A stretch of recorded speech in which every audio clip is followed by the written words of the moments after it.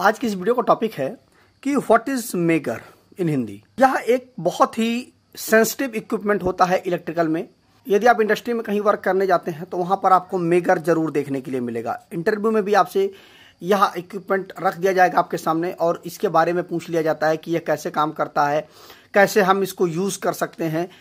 बाकी सारी चीज़ें इसके विषय में, जो भी चीज़ें होती हैं, इस पूरी वीडियो को यदि आप ध्यानपूर्वक देख लेते हैं तो आप अच्छे से क्लियर कर लेंगे। जो हमारा मेगर होता है इसको एक इलेक्ट्रिकल कंपनी थी, जिसका नाम था मेगर उसी ने सबसे पहले इस मशीन को मेगर को बनाया था, जो कि अठारह में इसको बना करके तैयार किया था।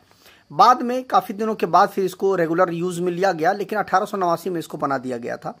क्योंकि इसका नाम है मेगर और इसका एक दूसरा भी नाम भी लोग बोलते हैं कि इंसुलेशन टेस्टर मतलब यह किसी भी इक्विपमेंट का या किसी भी केबल का या किसी भी चीज़ का जो आईआर वैल्यू होती है, उसको यह हमें निकाल करके देता है कि यदि हम उसमें इलेक्ट्रिसिटी दें, उसमें सप्लाई दें तो वह हेल्दी रूप से वर्क करेगा कि नहीं करेगा। उन मिला करके बात यह हुई कि मान लीजिए हमारी कोई एक केबल है, अब इस केबल के ऊपर हमारी पीवीसी चढ़ी हुई होती है।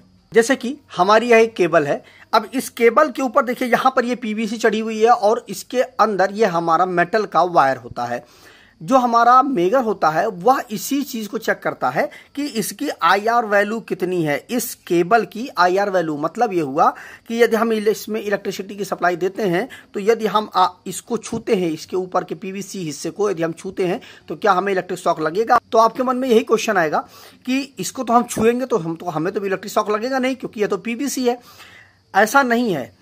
इसकी एक आईआर वैल्यू होती है। इसकी एक इंसुलेशन रेजिस्टेंस होता है। कि इसका जो यह पीवीसी है या इसका इंसुलेशन है, इसकी एक लिमिट होती है कि यह कितना वोल्टेज को वियर कर सकता है। उससे ज़्यादा यदि इसके अंदर से वोल्टेज का फ्लो होगा तो यह अपनी जो प्रॉपर्टी है इंसुलेटिंग प्रॉपर्टी है, उसको खो देगा और यह कंडक्टर की तरह बिहेव करने लगेगा। तो उसी चीज़ की टेस्टिंग हम मेगर की मदद से करते हैं कि यहाँ से और यहाँ के बीच में कितना रजिस्टेंस है, वही चीज़ हम मेगर की मदद से चेक करते हैं।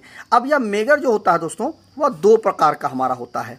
पहला हमारा होता है हैंडल ऑपरेटेड और दूसरा होता है हमारा बैटरी ऑपरेटेड। अब दोनों में क्या डिफरेंस होता है?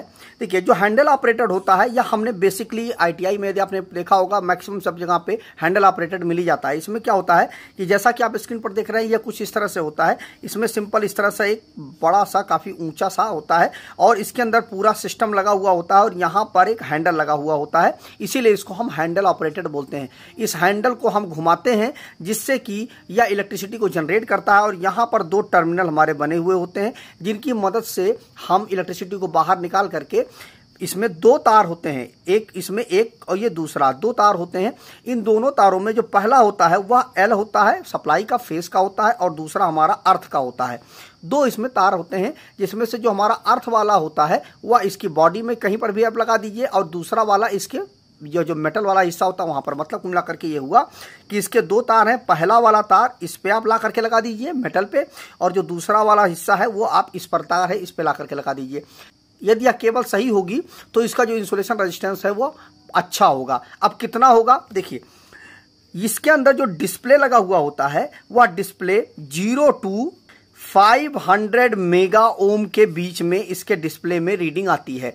अब अगर या केबल अच्छी होगी तो एक मेगा ओम कम से कम इसकी रीडिंग आनी चाहिए। तब तो यह ठीक है, एक मेगा ओम से कम है तो वो अच्छा नहीं है। कम से कम एक मेगा ओम तो रीडिंग आनी ही चाहिए। लेकिन इसमें एक इन्फिनिटिव का भी सिस्टम होता है। इन्फिनिटिव भी होता है। इसका मतलब यह हुआ कि केबल यह बहुत अच्छी कंडीशन में है।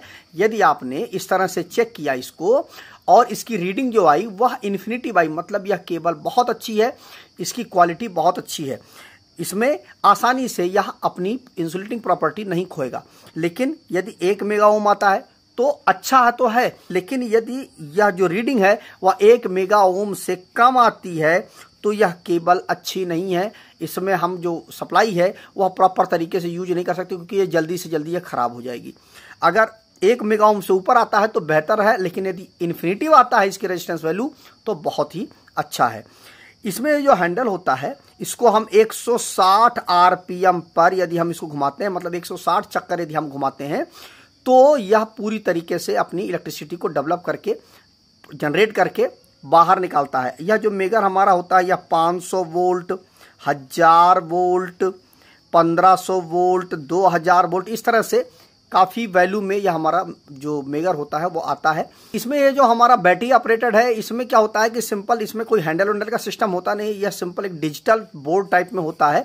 और इसमें भी यही सेम दो पॉइंट इसमें बने हुए होते हैं, जिसमें से एक होता है हमारा लाइन का और एक होता है अर्थ का। और उन्हीं को सेम इस मेकर की तरह हम यूज़ करते हैं, बस इसमें यही होता है कि इसमें हैंडल का कोई सिस्टम नहीं होता है सेम उसी तरह से होता है। इसमें जो वैल्यू आती है हमारी, वह एनालॉग वैल्यू होती है मतलब इसमें सुई इस तरह से मूव करके बताती है कि कितनी इसमें आई आर वैल्यू है इसकी। लेकिन इसमें क्या होता है? डिजिटली होता है। इसमें डिजिटली उसकी वैल्यू जो है हमें शो करती है। इसको यूज़ करने में हमको एक चीज़ का बहुत विशेष ध्यान देना चाहिए कि कभी भी लो वोल्टेज जिस इक्विपमेंट में या जिस सर्किट में जाते हो, जैसे कि मान लीजिए कोई डीसी सर्किट है हमारी, या कम वोल्टेज वाली कोई एसी सर्किट है, उसमें हमें इस मेगर का उपयोग नहीं करना चाहिए। जहाँ पर हाई वोल्टेज की हमें ज़रूरत होती है, ये कम से कम 500 वोल्ट की हमें जहाँ पे ज़रूरत होती है, या कम से कम मिनिमम 230 वोल्ट की यहाँ पे ज़रूरत है तो ही आप इसका उपयोग करें और 230 वोल्ट में भी 500 वोल्ट से ऊपर का आप मेगर न यूज़ करें। क्योंकि क्या होता है कि यह जनरेट तो करेगा 500 वोल्ट, और आपने जिस भी इक्विपमेंट में आपने इसकी सप्लाई को दिया है, अगर उसकी वोल्टेज, जो इनपुट वोल्टेज है, वह कम है तो क्या होगा कि वह इक्विपमेंट हमारा खराब हो जाए। क्योंकि उसकी जो कैपेसिटी है, मान लीजिए दो सौ तीस वोल्ट है ना तो इसकी इसकी मान के चले 500 वोल्ट की इसकी कैपेसिटी होगी। तो आप इसमें दे करके कोई दिक्कत नहीं आपका यूज़ हो जाएगा। लेकिन यदि कोई चीज़ है, अगर उसकी 100 वोल्ट ही है इनपुट वोल्टेज और यदि आप उसको 500 वोल्ट के मेकर से यदि आप उसको चेक करते हैं तो चूँकि उसमें 500 वोल्ट जब जाएगा तो वह उसकी पूरी सर्किट को यह खराब कर देगा।